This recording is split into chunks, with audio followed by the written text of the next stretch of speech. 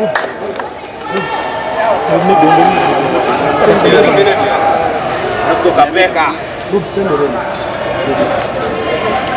now take this one down to hand the national flag to team captain and declare this ceremony flag of Dan success.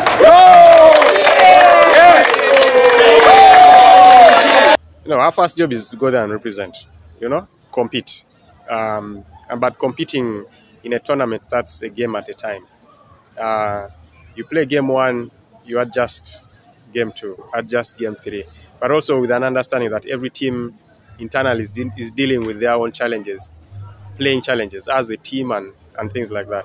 So our confidence is really in, in the work that we have done, the work that we have put in. Uh, the boys have been consistent uh, with practice. Uh, we've, we've had an opportunity to work with uh, the American-based coaches, which also brings in an influence and in terms of experience, exposure. This time, I expect us to do great thing than uh, what we've been doing before because we have a fresh uh, blood right now because uh, I happen to be in the team for the first time like 2014 2018 now 2023 i'm still there in the in the team.